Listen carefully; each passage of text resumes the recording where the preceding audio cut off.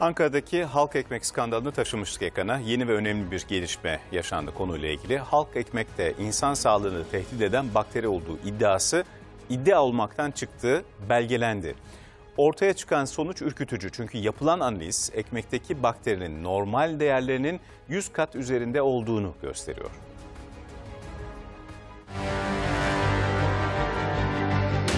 Ekmeğin içinde bir mikrop tespit edildi. Haftada üç gün alıyorum ben halk ekmeği. İshal, kusma, baş ağrısı, ateş, yüksek ateş insanlarda e, görülüyor. İshallik bakteri falan oldu yani. Hala kendimi yani halsiz hissediyorum.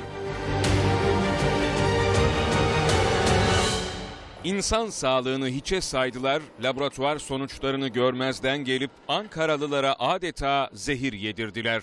Ne diyeyim? Allah'larından bulsunlar yavrum. Bu kadar da olmaz yani insan sağlığıyla. İddiayı AK Parti Ankara İl Başkanı gündeme getirmiş, Ankara Halk Ekmek Fabrikası'nın ekmeklerinde ROP bakterisi olduğunu duyurmuştu. Halkın yediği ekmeği bile zehir ettiler ne yazık ki.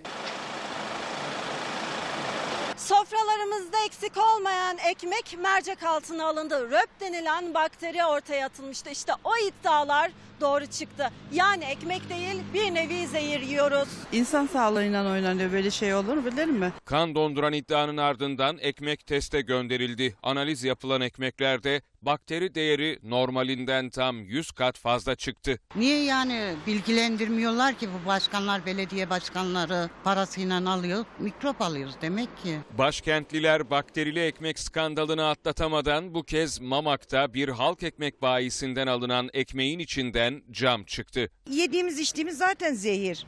Pislik. E bir de ekmekte de bu çıkarsa ne yapacağız? İnsanlara zarar. Hadi çocuğa zarar verse bizlere zarar verse ne olacak?